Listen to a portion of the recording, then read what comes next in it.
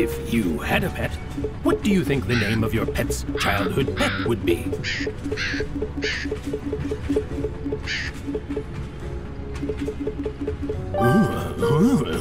Friends and lovers, welcome to the Jimpressions for A Hat in Time. Long overdue Jimpressions, some might say, but I always say a Jimpressions is neither late nor early. It always arrives exactly when I mean it to, unless it goes up late.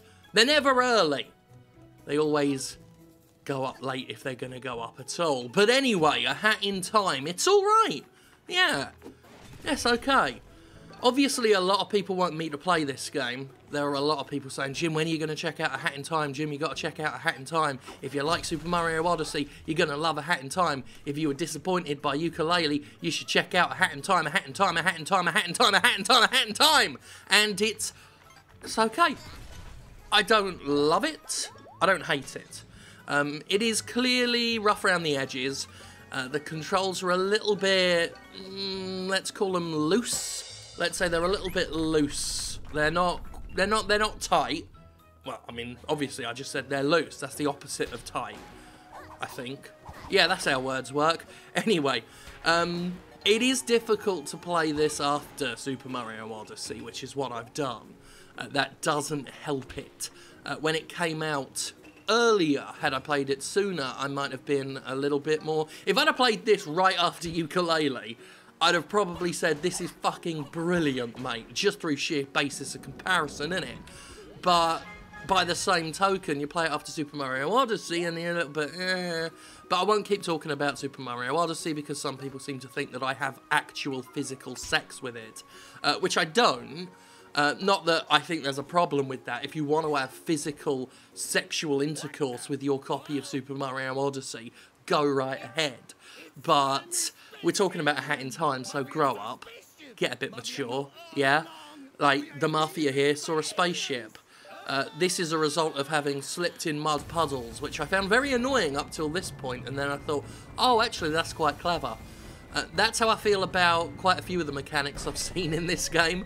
Um, the stealth being one example. There are some stealth levels, and initially I'm thinking, well, this is a little bit bollocks. Um, it's very bare bones, simplistic stealth, and it's annoying me. But it is used to create a very memorable level. I'll have a little bit of that level in this video, uh, but very memorable.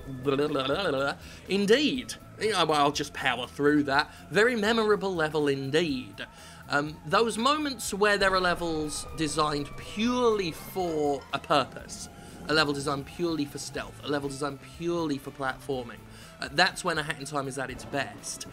When a Hat in Time is actually trying to be that platformy collectathon, you know, we're better than Yooka-Laylee kind of game, I feel it's at its weakest. At levels like this, these big open levels that you keep returning to in order to collect hourglasses, um, so far, and, and bear in mind, you know, these are first first impressions. I might have some later down the line if my uh, my thoughts evolve, but. Uh, so far, my experiences with the more open levels, where you're running around collecting lots of little things, uh, feel like the weaker element. Uh, it's when a hat in time is. Oh, there's my phone going off. I really should silence that before. I'm going to power through it again because I'm a professional. I'm not professional enough to get my words right or mute my phone, but I'm professional enough to keep talking through them. Um, I would say it would be more professional to uh, just do another take of that, but I'm raw and animalistic. and that's what you get out of me.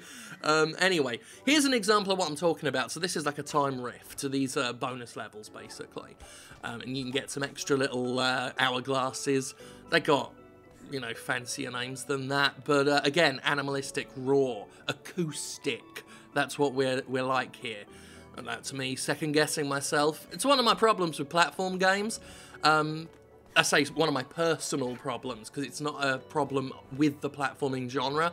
It's a personal issue where I lack self-confidence in uh, in my judgment with games sometimes. Uh, so making certain jumps, I tend to do what I did there and waste a lot of time. But anyway, back to my main point, which was this is uh, very platforming focused, and I enjoy it more than the open stuff.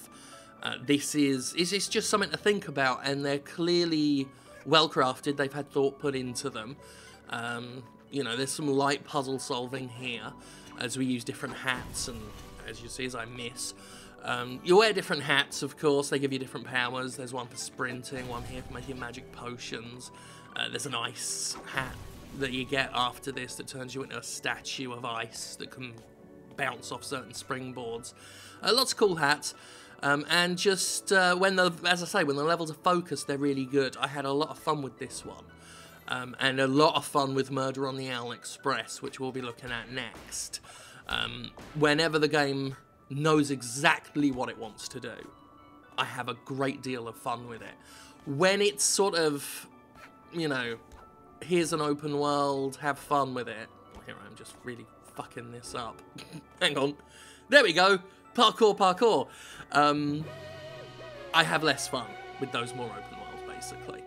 And, and a lot more fun when it's streamlined and laser focused on one idea. Uh, but other than that, like I said, it's not blown my mind. It's not something that I'm rushing to keep playing, but I am enjoying it, and it has been fun. And the more I play it, the more I enjoy it. And I really wish I hadn't turned those two down in favour of that minty fresh. I mean, at least the character customization is in game. At least you don't have to buy it fucking separate, which these days that really shouldn't be the standard. But yeah, it turns out I had a really good colour to begin with, then got another alright colour, uh, and then just got what they call minty fresh, but what I call baby shit green. Anyway, here's a, little bit of sauce spoofery, which always goes over nicely with me. Um, this is part of the Murder on the Owl Express. Uh, I've got some more footage of it, which I guess I'll just use for B-roll now, but uh, this was obviously my favourite part of it because it was full on Saw. Um, you have to name a lot of things uh, before the level begins. There are these shifty crows, the ones I'm hiding from here in the stealth sections. And they ask you a lot of personal details, like, uh, you know, your a body part you're ashamed of, your pet's pet. That's this bit here, your pet's pet.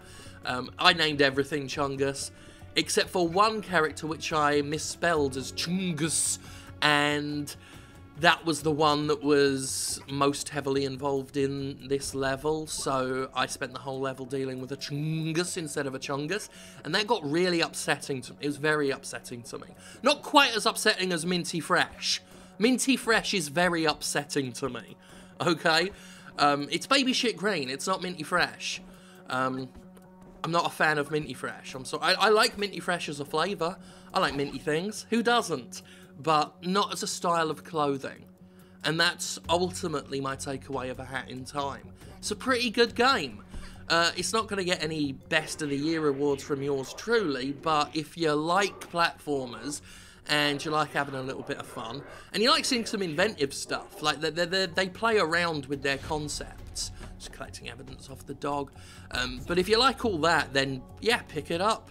You'll have a good laugh.